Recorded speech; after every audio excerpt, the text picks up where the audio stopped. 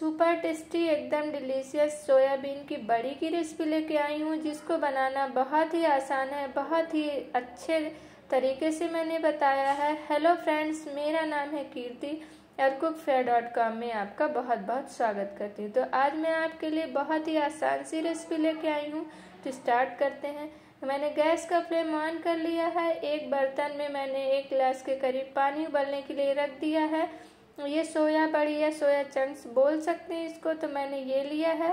पानी अच्छे से गर्म हो जाए तो उस बड़ी को हमको इसी में ट्रांसफ़र कर देना है। हम पकाएँगे नहीं, पकाने से बहुत ज़्यादा ये घुल जाती है मतलब घुलती नहीं, पर सूख हो जाता है इसमें तो अच्छी नहीं लगती। बट इसमें डालने से ऐसे फूल जाती है तो इसका टेस्ट बहुत अच्छा आता है फिर।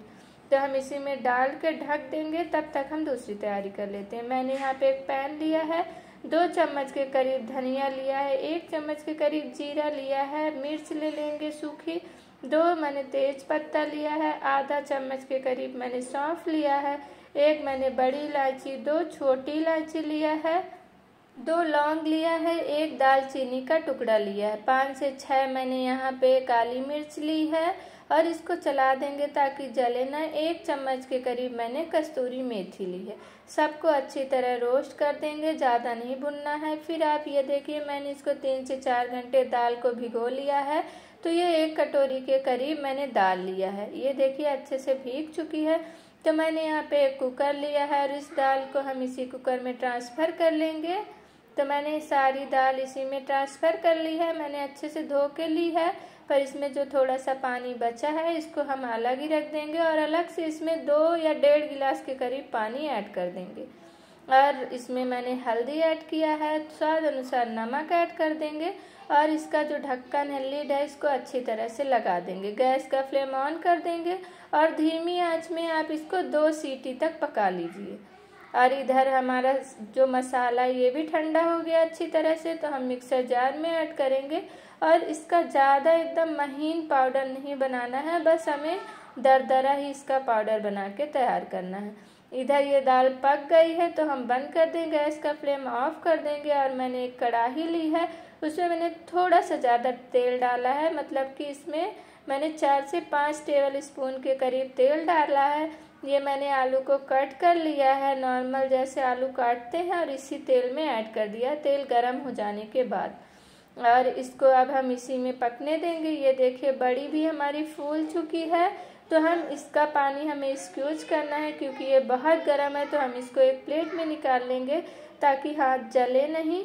तो मैं इसको एक प्लेट में निकाल रही हूँ, क्योंकि ये गर्म है। अगर इसका पानी एक्सक्यूज करेंगे तो हमारा हाथ जल सकता है।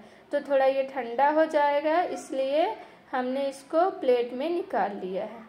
तो सारी बड़ियों को मैंने प्लेट में निकाल लिया है, ये थोड़ा ठंडा भी हो चुका है। तो इसका पानी आपको ऐसे हाथों में लेते हुए, दोनों हाथों में ऐसे दबाते हुए आराम से निकालना है, ताकि बड़ियाँ टूटे भी ना और आराम से निकल भी जाए। बहुत ही आसान ये रेसिपी है, पर बहुत टेस्टी है। मैंने सारा पानी निकाल के तैयार कर लिया है। और इधर हमारे आलू भी पक गए हैं। ये देखिए, इस तरीके से बनाएँगे तो बहुत ही टेस्टी लगेगा। और ये बहुत ही हेल्दी भी है, बच्चों के लिए भी और बड़ों के लिए भी। एक बार ज़रूर ट्राई करिएगा ये रेसिपी बहुत पसंद आएगी आपको। और ये बड़ी जो हमने पानी निकाल के ले लिया था, इसको भी हम इसी ऑयल में ऐड कर देंगे। और यहाँ पे एक बात का ध्यान रखना है कि आपको गैस का फ्लेम हाई करके लगातार चलाते हुए आप बड़ियों को पकाएँगे तो इसका जो इसका पानी है, वो अच्छी तरह ख़त्म हो जाएगा। मतलब मॉइस्चर है, वो ख़त्म हो जाएगा और एकदम बढ़िया सूख जाएँगी। बहुत ही टेस्टी लगती है इस तरह में। तो ये देखिए, एकदम अच्छा कलर आ गया हमारी बड़ियों का। और बस हमें इस टाइम तक पकाना है। कम से कम मैंने पाँच से छः मिनट तक इसको पकाया है। इसके बाद मैंने निकाल लिया है। मतलब मैंने रोस्ट किया है। इसके बाद हम प्याज ले रहे हैं यहाँ, हमें प्याज को बारीक बारीक काटना है। तो आप बस ऐसे ही नॉर्मली, ये देखिए मैंने बारीक ही काटी है। बस ज़्यादा बड़ी नहीं है, आप अपने हिसाब से बड़ी भी ले सकते हैं, पर छोटी मुझे ज़्यादा टेस्टी लगती है, पक जाती है जल्दी। और समझ नहीं आता कि हमने प्याज का यूज़ किया है। और यहाँ पे मैंने दो मिर्ची ली है, आप तीखा अपने हिसाब से ऐड कर सकते हैं, और छः से सात कलियाँ मैंने लहसुन की ली है। अब उसी कढ़ाई में हमें तेल ऐड करना है। एक चम्मच के करीब जीरा मैंने ऐड किया है। मैंने हींग एक पिंच किया है और जो लहसुन और मिर्ची काट के ली थी, वो भी ऐड कर देंगे। और ये प्याज भी ऐड कर देंगे थोड़ा सा चलाने के बाद। और प्याज को अच्छी गोल्डन सुनहरे रंग आने तक हमें पकाना है, ताकि इसका कच्चापन अच्छे से निकल जाए। जब अच्छे से कच्चापन निकल जाएगा तो हमें टमाटर ऐड करना है। तो यहाँ पे मैंने दो मीडियम साइज़ के टमाटर काट के ले लिए हैं और टमाटर डालते ही हमें नमक ऐड कर देना है, इससे टमाटर बहुत जल्दी गल जाता है। तो मैंने तीन से चार मिनट के लिए ढक दिया है और आपको बस मैश करते हुए इसको पकाना है। तो बहुत जल्दी ये पक जाता है, ये अच्छी तरह गल गया है। हमने जो मसाला बनाया है, उसी को मैंने यहाँ पे डेढ़ चम्मच यूज़ किया। बहुत ही कम मसालों के साथ मैं बहुत ही टेस्टी सब्ज़ी बनाई हूँ। तो ये देखिए, जो दाल का पानी था, उसको भी इसी में ऐड कर देंगे। ना तो ज़्यादा तेल है, ना तो ज़्यादा मसाला है, पर बहुत ही टेस्टी बनेगी। और बस ये अच्छी तरह जब पक जाए तो इसमें आपको जो हमने अपना ये आलू और सोयाबीन की बड़ी ली थी, इसको भी ऐड करके पाँच मिनट के लिए ढक देंगे। थोड़ा सा ये मसाला ऑब्ज़र्व कर लेगी। इसके बाद हमें क्या करना है? थोड़ा सा चलाना है। और जो हमने दाल को उबाल के ली थी, इसको भी इसी में ऐड कर देना है।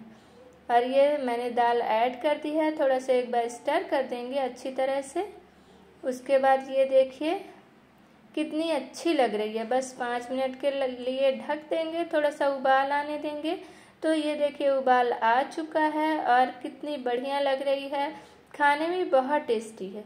तो यहाँ पे मैंने थोड़ा सा गरम मसाला पाउडर लिया है और मैंने मैगी मसाला लिया इससे टेस्ट और बहुत अच्छा आता है इसका। आपको समझ ही नहीं आएगा कि आप सोया बड़ी खा रहे हो। तो मैंने सारी चीज़ों को मिक्स कर दिया है अच्छी तरह से और यहाँ पे मैं कटा हुआ धनिया ले रही हूँ। इससे मुझे बहुत अच्छी सब्ज़ी लगती धनिया डालने के बाद। और टेस्ट करके बताती हूँ, बहुत ही लाजवाब सब्ज़ी बनेगी। Thank you.